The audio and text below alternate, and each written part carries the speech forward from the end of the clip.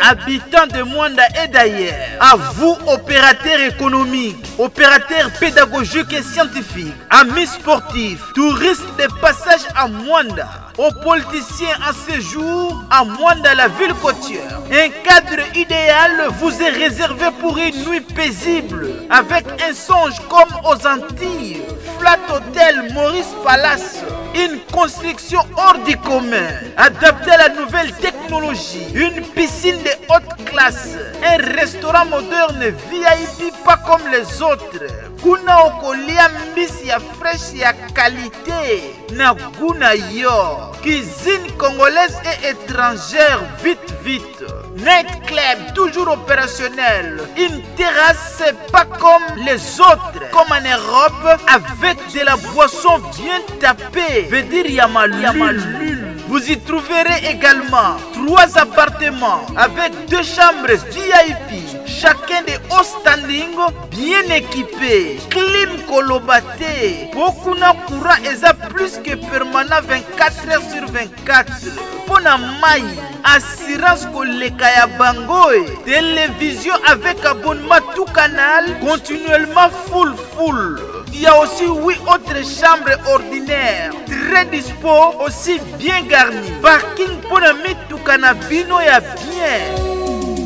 na kati mpe na libanda e accueil très chaleureux oza deja ya kosepela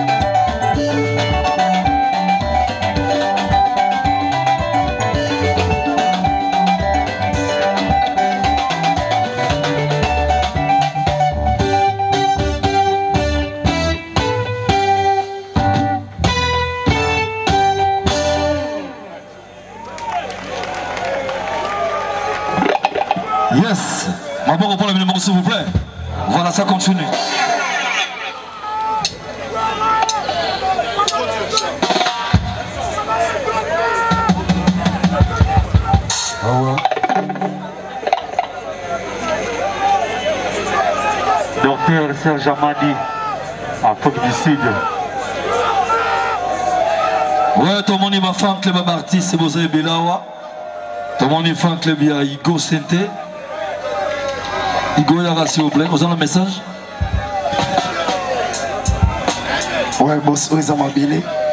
nayebi ke liloba na yo epai ya président léon chako ekesala bien mpo na soutien ndenge asoutenaka ngai na mabele oyo léon chako baza ebele aza wana mise en place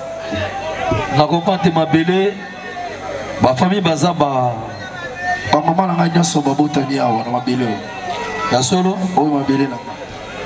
ya solo wana okopesa quartier kote bamama ya bote balabala aveni toza awa ndako eza awa na gare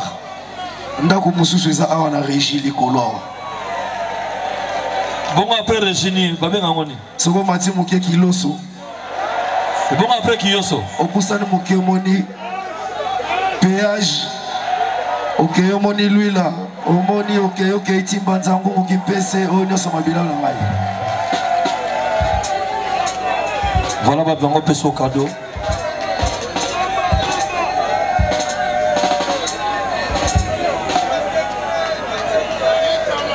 mère anitiamala donc igo tobaki mama botami na kasango ok donc mwana na bino mpe ye yo mama abotami awa donc aye mpenza na mabele na ye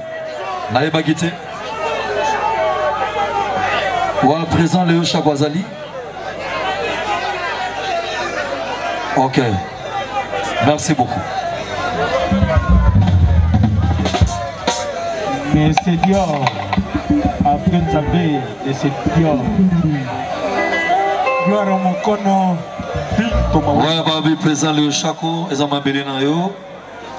biso epakolami ezalaka symbolique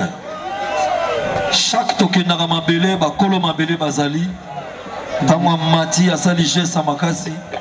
mokili mpe moni président chako maboko voilà tupuissant mazembe président chako alempiana voilà bino batabanderolo bolongola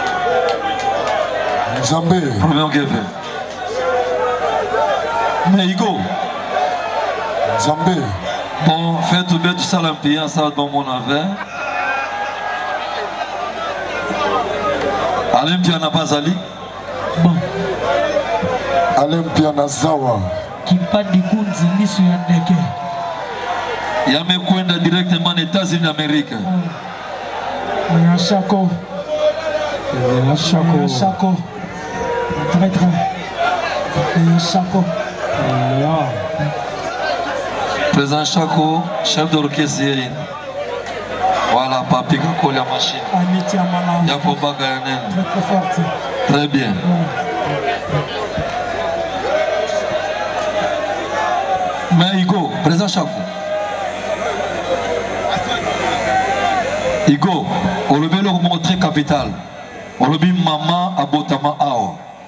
oyebi soki balingi par exemple batoloka question moko ntango mama abotami awa c'est-à-dire mama ayebi monoko awa yo mpe mwana na ye fo oyeba yango est ce que oyebi monoko tuba bos muketuba fioti fioti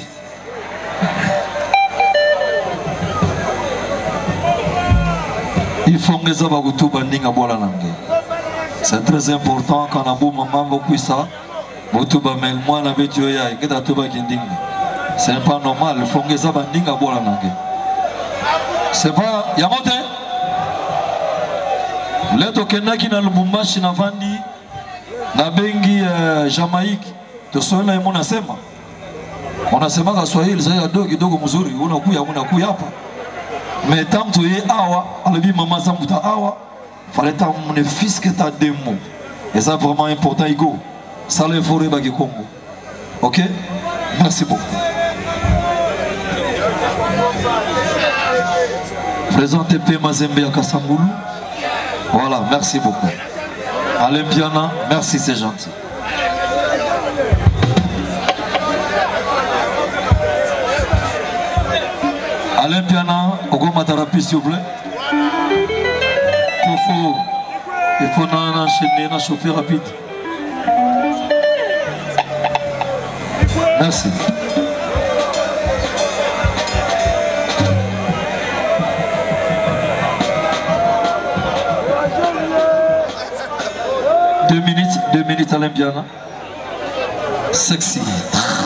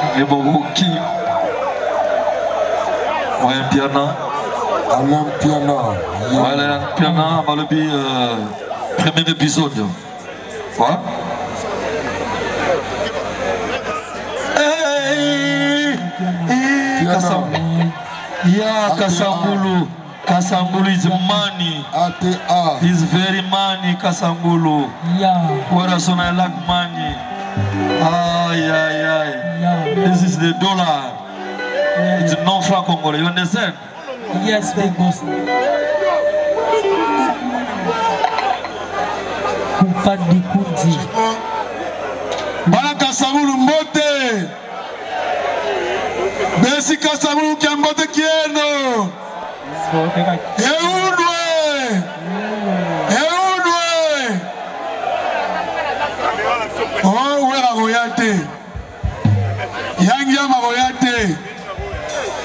tomoni présence ya werason président werason pour la petite histoire nazo rappele ye biso avec la fondation werason nayebisaki président pdg majeco rappele ngiama fondation werason ayelaka biso bashege na kasangulu bashege ta baya na kasangulu biso nde toankadraka bana kini wana bayaka bashege awa lelo oyo igwe na kati ya kasangulu c'est une histoire histoire bachangeaka yango te bavrai villageois tozali awa lelo mpe président masheko apesi charge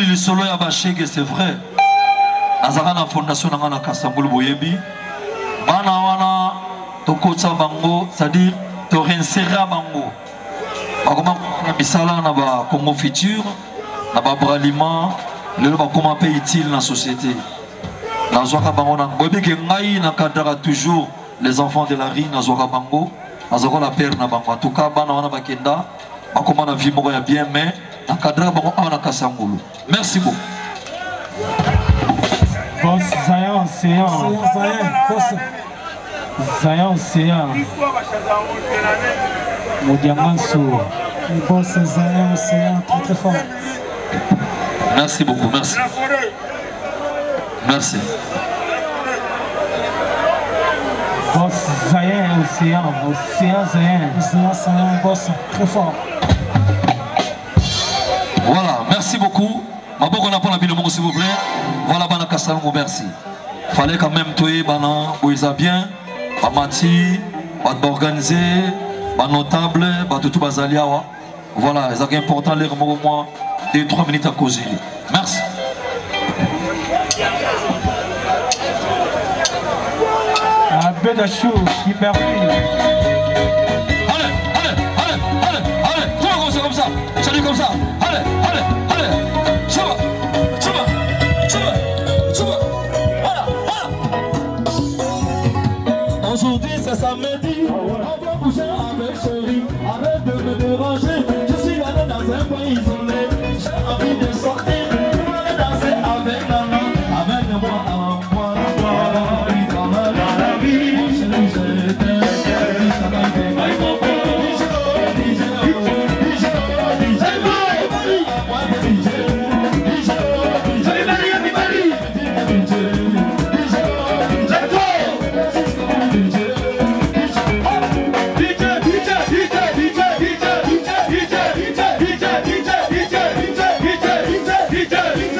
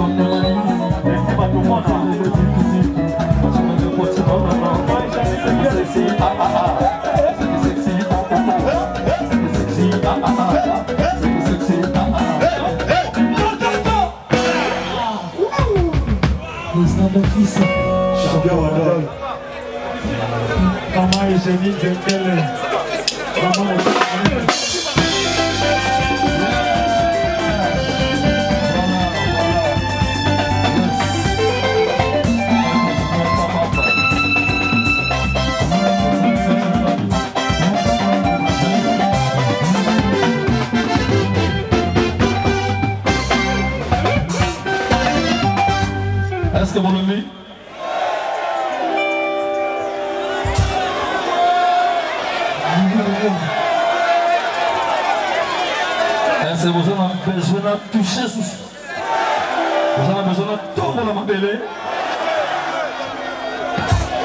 extension bashe na mono opesi nga 1000 franc nakosombela yango lipa na ntongo 2000 nakotya lipa manteka oyebi bamongo tokaba yango te opesi yango na motema moko me ngai nakozongisi lo 20 dollars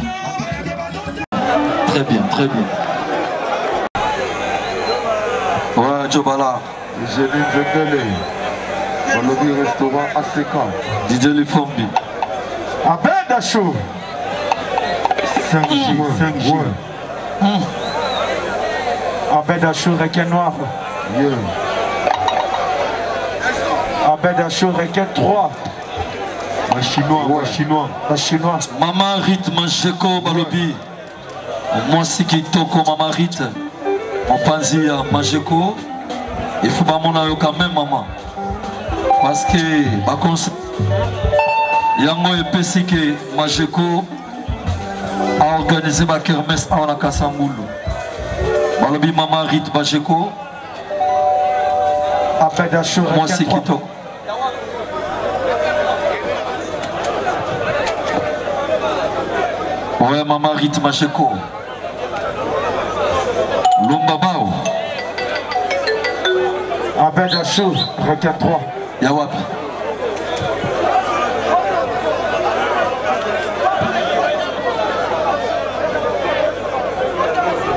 Levissa maman, s'il vous plaît.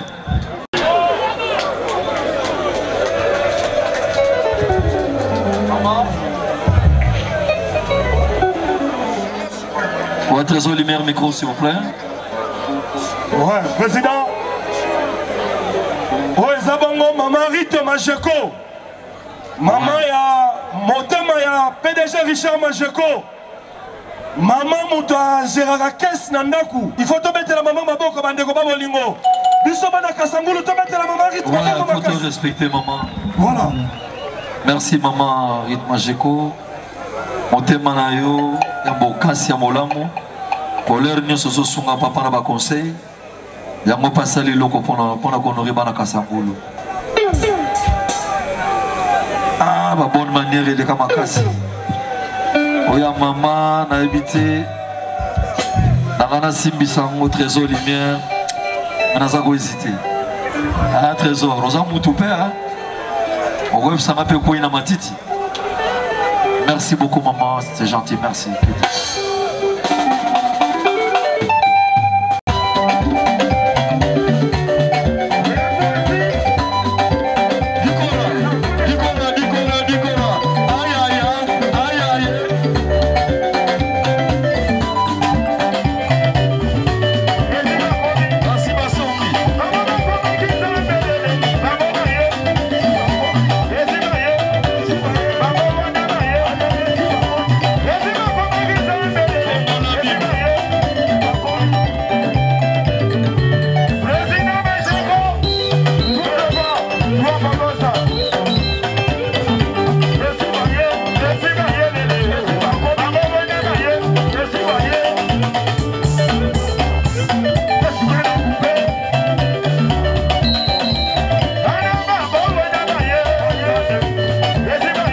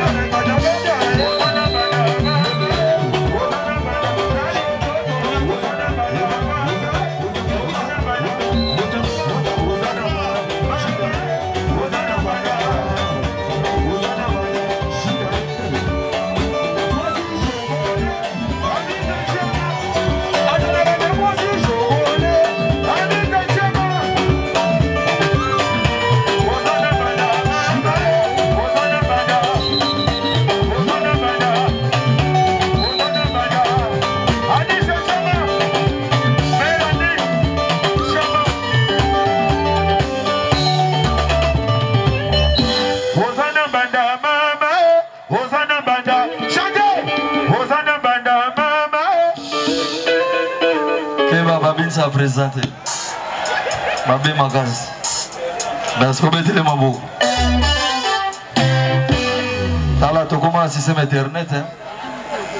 owa asimbe présent boye boyebi kaka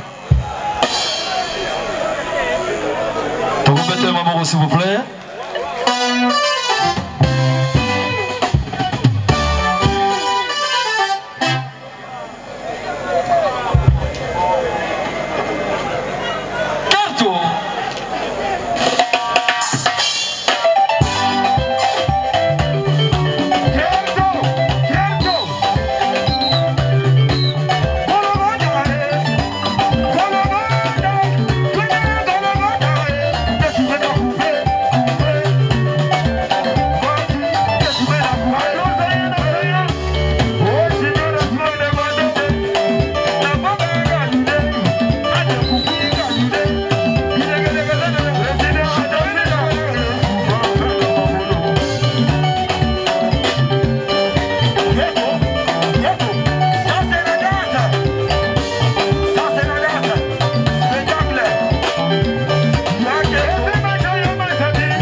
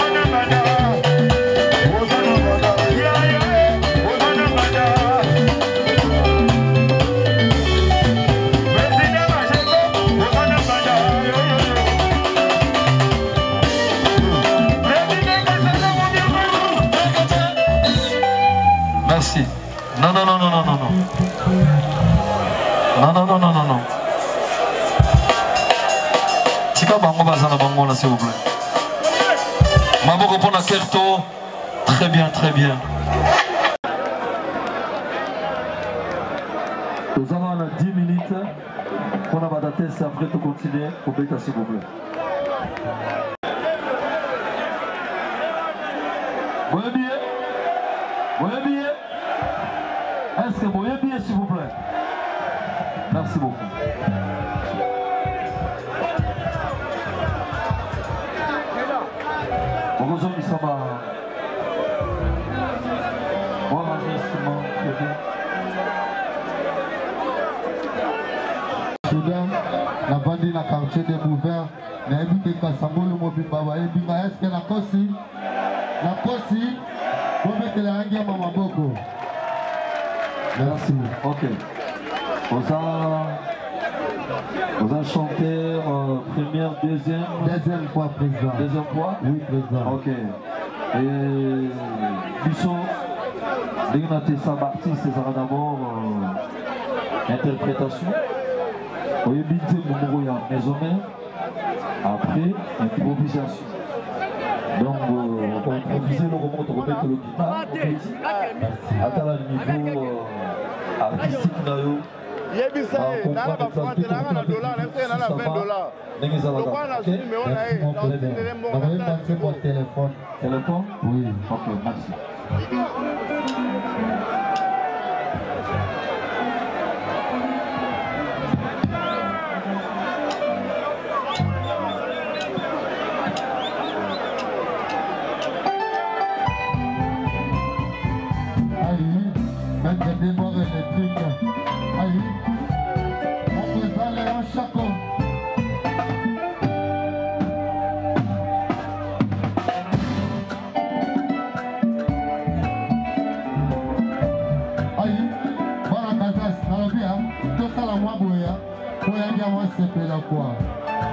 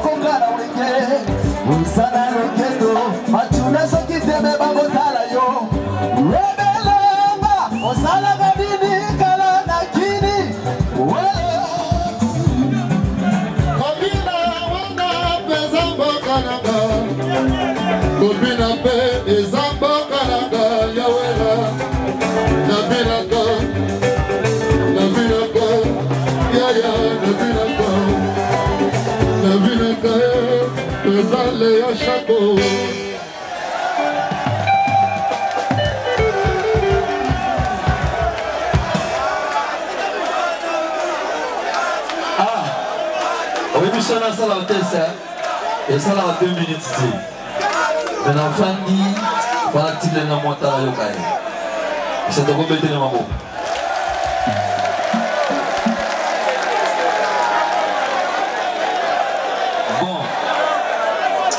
Aza ndembele na kati na ye. Bon, nga na nga na zo découvrir yango déjà.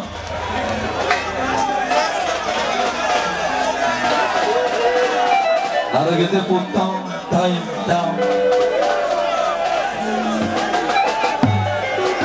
sikoyo bisanga nano besoin na mpene ezali donc oza bo besoin na ngai ezali papa naya epai na yo nazala na bave na ngai bapapi kakol bave na ngai baikosente bave na ngai bamakaba naya vraiment oforme ngai mpo ndenge naza boye nazomona kaka lokola nayebi te Ye nde kolakisa ngai papa.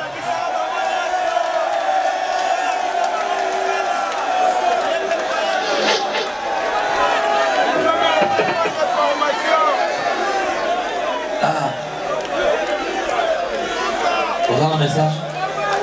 ajola biso maskuda biso moko Pour soutenir ye financièrement. Transport, kolata na ye, kolia ye na Kinshasa. Eza na motu na ngai. Voilà. Tolingi tour oyo Kasango ezala représentant na niveau ya maison mère. Boma déjà azali ya Boma aza. A partir ya lobi biso moko tokotia na kati ya motuka ako maloba lobi etikali na kati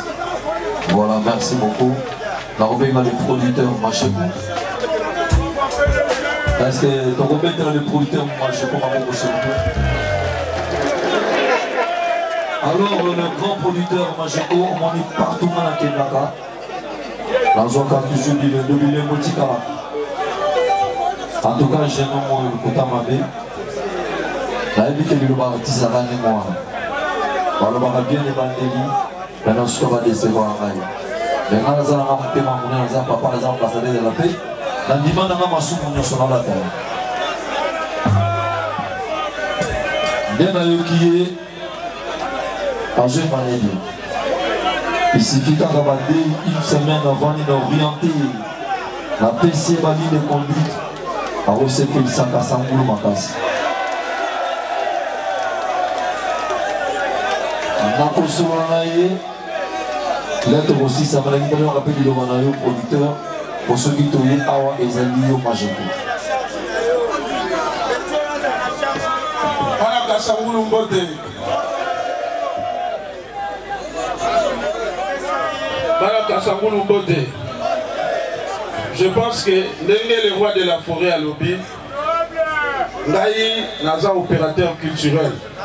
toza wana na souci ya kopromouvoir bajeune bakende de l'avant je pense que eloko kokotela motu koleka verité ezalaka te je pense que machuda asali vraiment mosala epuis nakosenga na bino bana ya kasangulu ngai na soutenir ye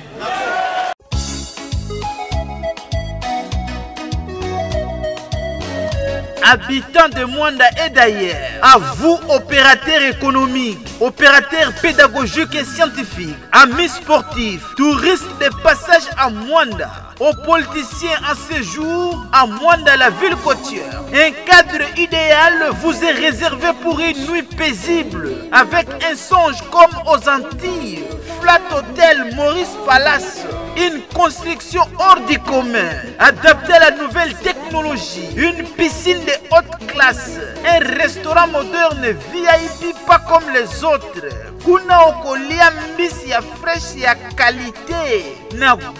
yo cuisine congolaise et étrangère vite vite night club toujours opérationnel une terrasse pas comme les autres comme en Europe avec de la boisson bien tapée veut dire yamalul vous y trouverez également trois appartements avec deux chambres VIP, chacun de haut standing, bien équipé, clim colobate, beaucoup na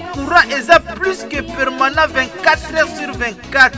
mpo na mai assurance koleka ya bango e televizio avec abonnement tout canal continuellement full full Il y a aussi huit autres chambres ordinaires, très dispo, aussi bien garnies. Parking pour la mituka na bino ya bien. na kati mpe na libanda e accueil très chaleureux oza deja ya kosepela